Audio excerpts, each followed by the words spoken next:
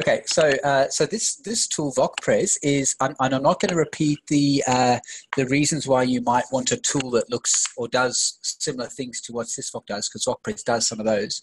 Um, so you know why you want vocabularies and and and, and whatnot, and, and how you might want a machine readable and or uh, a human readable endpoint. Uh, so I'm not going to repeat that. Um, so I will, I will just say uh, that this tool was developed in the last six months it does a bit of what VocPrez, of, what uh, SISSVoc does, but does some things different. And part of this meeting is actually, I think, for all, all of us, including Jonathan and myself, to work out the differences between these, these things. Okay, uh, so about the tool, the code repo is there and it doesn't have a sissvoc.info style website yet. So, so there we go. Uh, but it has a, a, GitHub repository. And I should mention that um, this tool's had a bit of input from uh, TERN and Geoscience Australia in the development. So that's uh, thanks for that, uh, partners. So why it's developed is what I'll say. I mentioned first what it is, where it's deployed, and future development prospects. Okay, so it was developed. It was triggered by the very specific thing that triggered it was actually the way SISSVoc, and not just SISSVoc, it's the underlying toolkits, do multilingual tags and a few other bits and pieces. So there's some elements in the way SISSVoc displays things which are uh, not super easy to configure, uh, partly because of the ELDA underlying toolkit that SISSVoc uses. So it's possible. And when I was at GA, we looked at configuring SISSVoc to do some things differently, but it was difficult. So, so there was a specific requirement to deal with a specific set of display issues there. Um, and and that's what triggered the idea that we might do something a bit different. Um, the second sort of thing was that uh, in the cases where we wanted to do things that are loosely termed vocabularies but are very not SKOS based, so SKOS plus a lot of other things, uh, we start to push the boundaries on what tools like SISSVoc can do, given that they presupposed on SKOS. Now that doesn't mean that again that SISSVoc and others can't be tuned to doing these other things they can, uh, but it depends on how, how much effort's involved. Um, and a third requirement that came up recently was uh, very strong organisational branding. So uh, some deployments of vocabularies, like in Queensland government, uh, if they're to be considered official government websites, have to follow very strict branding from the government, and that requires interfaces that look and feel a particular way. Um, and to achieve very strong templating and branding, we needed, we thought we might do something a bit different as well. Um, and now the final thing is a general point, which is templates, templating for things, and I'll explain that more uh, later on. It might be all you need in certain circumstances. And um, if you have uh, vocabulary management covered, so again, SISSVoc reads vocabularies that have been established elsewhere. This tool does too. It doesn't help you manage them directly. It's a consumer of vocabs that are created and managed. And if you need a deployment of a tool to deliver vocabulary information um, where you only have a few types of things per deployment, so you want you know one organization delivering a set of vocabularies that are fairly similar, this is the kind of tool that you might consider. Okay, so let's have a look at it.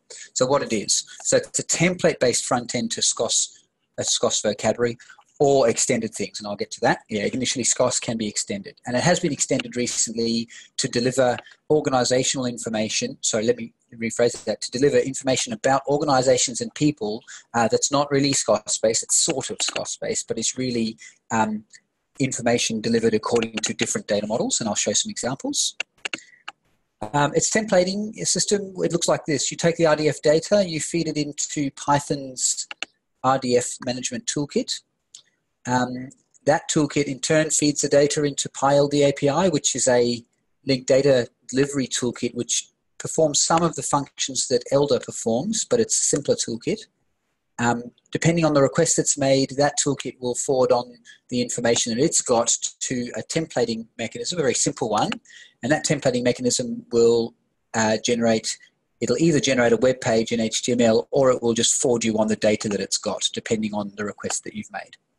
Um, and I should say that it's pretty functionally equivalent to what SISSVoc does in terms of you going and requesting either web pages or, or machine readable views of, of vocabularies or vocabulary items. Um, now, the, uh, the per instance data model dictates the uh, specific views of things. And what I mean by this is that if you've configured this tool to show you SKOS elements like uh, concept schemas, collections, and, and concepts, then then you would configure a particular instance to do that, and that's what some of our instances have got. Um, and that, that's really configuration in the in the uh, one of the underlying toolkits and in the templates that you use. Um, and yes, I've said it's been extended for organisations and people. Okay, so this is an example of what the front page of the Geological Survey of Queensland's vocab list looks like. And the list you see there uh, going down the page and getting cut off has got about 20 vocabs in it now. Um, most of the vocabs are their own, and some of the vocabs are not their own. They're from Geoscience Australia and from the Commission for Geoscience Information. And what Geological Survey of Queensland wanted was all of those vocabularies, whether they were their own or whether they were ones that they were interested in, uh, being delivered in one place so that their own staff can go there and say, is the vocab I'm interested in this list or not? Now, um, it's an organisational issue as to whether they put all the vocabs they're really interested in in there or not, but they have the capacity to do this. And part of that's because this tool uh, can read vocabs from a number of sources, and so you can quite happily on deliver vocabs that someone else has published. So you could take a SysVoc published vocab, and we do, and uh, on deliver that through this tool. Okay. Um, now, the exact Queensland government theme that you see is used here. Um, I suppose it's elegant in that it's uncluttered and whatnot. It's a normal web page. It has to be a normal web page. This is what the Queensland government requirements are. Um, and the templating here is open ended. We can do as much or as little as needed. Um, so we can exactly match the uh, whatever themes are required. Now, of course, that's a, that that require that puts an impost on the developers to to fiddle with these templates. But that is the requirement in this case is to is to exactly deliver certain content or content in a certain style. Um, so this is a small GSQ vocab. It's the so-called boreholes types, um, and you can see there's coal, you know, coal seam gas, mineral, water, etc. And what you're seeing here is just the top concepts and the concept hierarchy, which in this case the one for one. There's only a few terms in this vocab, so it's very simple. And then if you drill down, well, sorry, here's a big vocab, which is the uh, Commission for Geoscience Information's contact type. And you can see the top concept here is contact, and then it's got this concept hierarchy within that. Now, this vocab, I should point out, is delivered via CGI's vocab loaded into the ANDS uh, Research Vocab, or sorry, the ARDC Research Vocabularies Australia portal, uh, which is then delivered in SISSVoc. Um, and what we're doing here is we're just redelivering that same information by hooking into the data view from the RVA portal. So we're on delivery. Um, here's just a particular term, a very small amount of information for this one concept. So the concept here is chronostratigraphic zone contact, and then there's the definition: a contact between bodies of mineral of material having different ages of origin. Now, that what's happening here is the template that you see in action, uh, in action is a limited template. It's only showing the information that it's configured to show. It's not a general purpose template that can understand any RDF property and then to display that intelligently. It's not at all intelligent, it's dumb. It only displays exactly what it's told to display. Uh, so this is limiting in the sense that if you have different data, it's not going to know how to display it, but it's powerful in that you can exactly display it however you want to display it. So if you want to make a incremental change to using not bold but italic or shift things around or whatever, any of those changes are available to you um, pretty easily. And that's, again, that's the goal. Here's the Commission for Geoscience Information's not fully public yet uh, list of vocabs that's sort of happening using the same tool. And um, again, some of these vocabs, the Geological Survey of Queensland are also delivering. And uh, yeah, there's, uh, I think there's about 50 vocabs there. And they've, uh, Alex, who's on the call, has been um, fiddling around with an instance of VocPrez to list all of those. Okay, so I've mentioned it already, but VocPrez is designed to render exactly what you want per deployment. It's just that you have to make it do that. Um, so what we don't have is we don't have to fight a very complicated tech stack here to achieve outcomes um, because we don't have a huge tech stack. So we don't have to burrow through um, lots of modules of code to make small changes. On the other hand, the compromise is that you get less out of the box and you need to customize what you want. Um, just an example of further customization. This is TERN, Terrestrial Ecosystem Research Network, delivering a Queensland government themed instance of VocPrez, themed differently to the other ones you saw. Um, and they've modified VocPrez quite substantially to do a few things, and I'll, I'll, show those in a minute. And you can see here they've, they've got different information presented in different ways. Again, their vocabs are managed in RVA. Here is Queensland Government, uh, sorry, sorry, not Queensland Government, TERN, delivering a list of people uh, using an extension of VOC uh, Pres that is not a SKOS based thing. I mean, it is a SKOS based thing in that there is a shell of SKOSness to all of this, but the really important information in this vocabulary or listing is not really SKOS sort of stuff. It's it's people information. So here's an important person, um, and you can see that what you need to know about Nicholas Car is his email address. And if I scroll down further, you would see other information about me that are not SKOS elements. There are other elements according to schema.org and according to the organization ontology, and you can make VocPrez pretty easily deliver that. You just have to configure it. Okay, now another important point about VocPrez is you can use any backend you like as long as you're willing to configure it. Now we've already configured it to use uh, RDF text files, uh, text files or RDF files in GitHub, VocBench, which is what the Geological Survey of Queensland uses, um, to manage vocabularies um, or generic SPARQL endpoints. So it's, it's when the system connects to a generic SPARQL endpoint uh, that it's reading um, vocabs like that contact type one I showed you before, which SISSVoc and other tools redeliver as a SPARQL endpoint. This tool can just read that SPARQL endpoint and re-redeliver that information. This is a picture that you, was actually on the front page of this, or the front slide of this presentation, and it's on the code repository just to show you that there's VocPrez in the red, and it delivers a linked data API, it delivers HTML web pages, and it delivers a SPARQL endpoint based on one of a number of potential backends. So you can you can have a VocBench with its database backend, you can have a generic SPARQL endpoint or, or text files, um, and it can treat those pretty much the same. Okay, so just a, a snapshot, a, a, picture of the actual config that is in place in the Geological Survey of Queensland's uh, instance of VocPrez. And what, what it's telling you in the first little bit is it's reading a whole bunch of vocabs from a SPARQL source, which is the GSQ vocabularies, and there's about 17, 18, 19, 20 of those. Um, and so it's got a, a so-called source, a, vocab, a, um, a SPARQL source to read vocabs from there. It's got another source, the RVA source that we've created to read vocabs from RVA. Now, RVA's got hundreds of vocabs, and so when you configure the RVA source, unlike the SPARQL source where you just tell it, just read from there, the RVA source, you have to say which vocabularies with which ID um, you need to actually read. And so here you can see uh, three vocabularies are listed. So this instance now is delivering about 17 to 20 vocabs from GSQ vocabularies, the SPARQL endpoint, and three vocabularies from RVA, and it could also deliver text files if that's what we wanted, or from GitHub. Okay, so now it runs on a pretty modern tech stack because uh, it's only been built recently, um, and, a, and a one that we like to use. It runs, it's built in Python 3.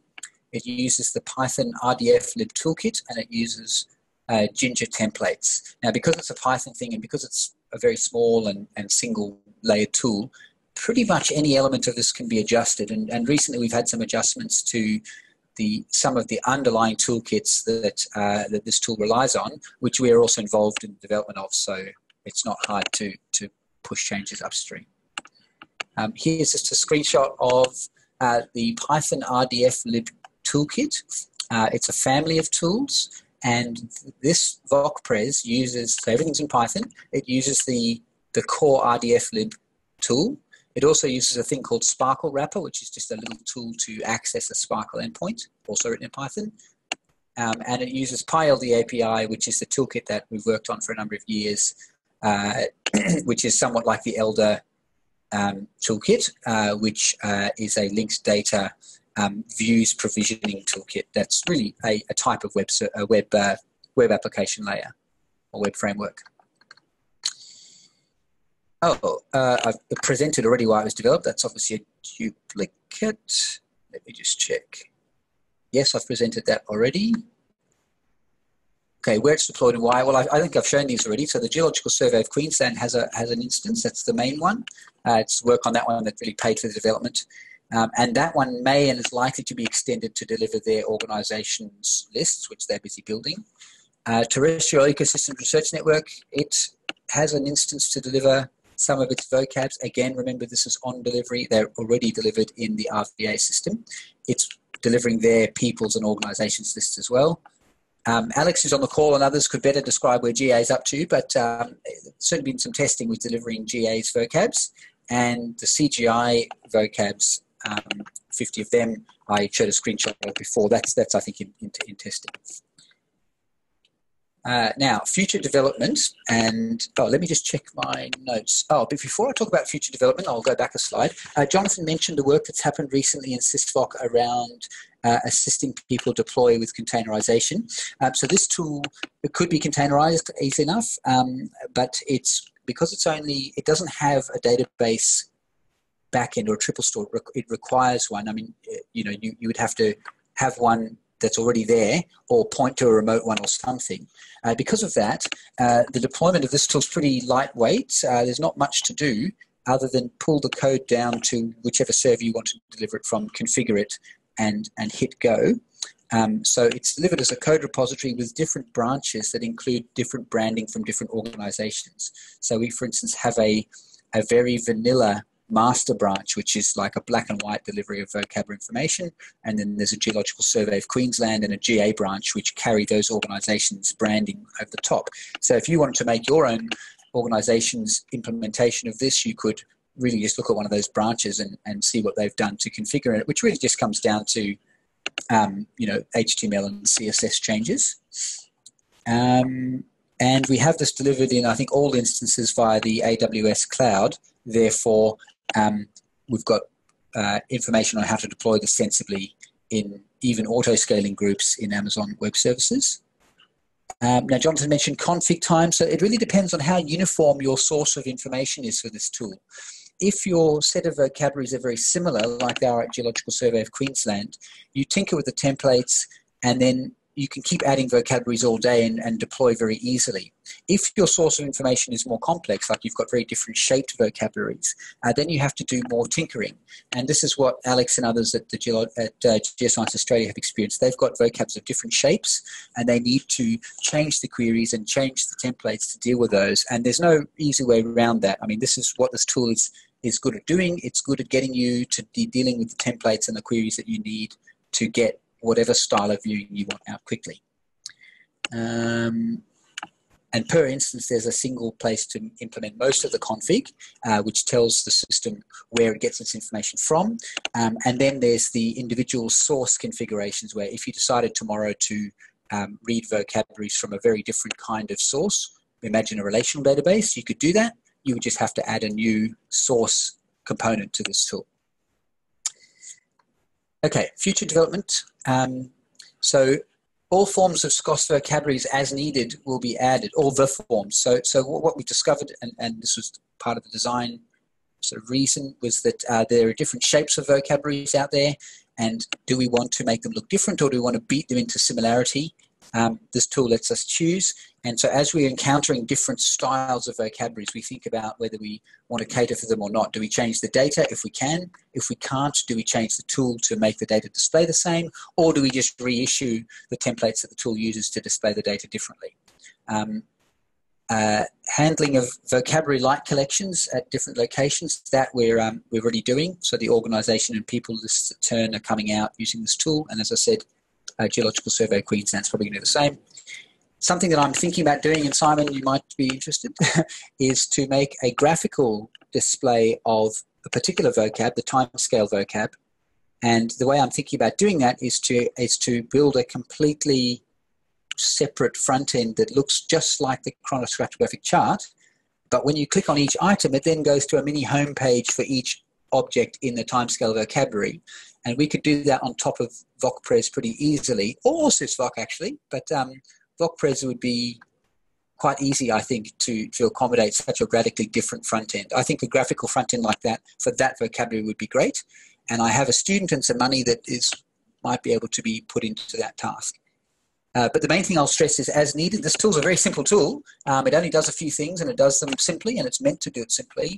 Um, and things can be added to it as, as needed. But look, if this is a a, a, delivery tool, not a research project. So we, we don't have grand ambitions to to test out things necessarily. We'll do what essentially the customers want, and if that means delivering things exactly according to a particular government's uh, required website template, we'll do that. Um, there are a few issues that have been listed, and, and, anyone who uses the tool is welcome to list issues uh, for us, the developers, me, GA, TERN, etc., to, to deal with. Okay, that's it.